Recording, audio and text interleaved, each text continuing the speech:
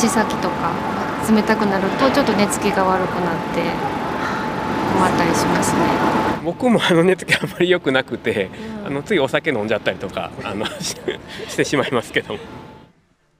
睡眠に悩みを抱える人が多くいました。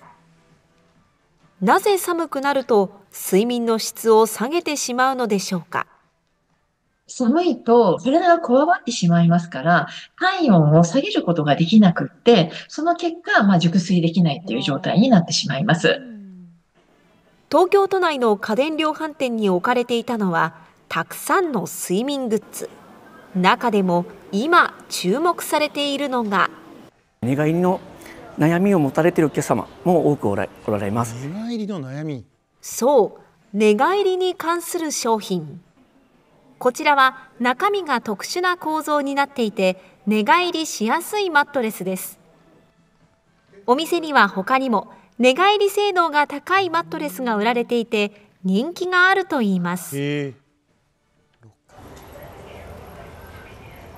しっかり体を支えてくれる感じがありますね。あコロンとすぐに寝返りを打つことができますこちらは無印良品が販売している寝返りを受け止める枕。中央に仰向け寝用スポット。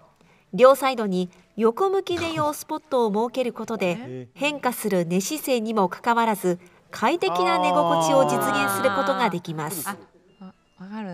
さらにユニクロは360度自由自在に伸びる寝返りしやすいパジャマを販売 IKEA ではふわふわした手触りで一般的な毛布よりも軽く寝返りしやすい毛布が販売されています。そんな寝返り商戦があったの？各社続々と販売する寝返り商品。そもそもなぜ寝返りが注目されているのでしょうか？そこにはある理由が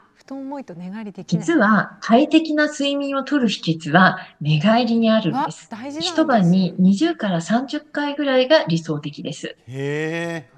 寝返りには血行が良くなる効果があるほか、体に熱がこもるのを防いだり、歪んだ姿勢をリセットしたりすることができるため、睡眠の質を上げる効果があるといいます。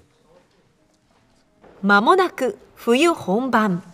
寝返り商品で睡眠の質を上げてみてはいかがでしょうか。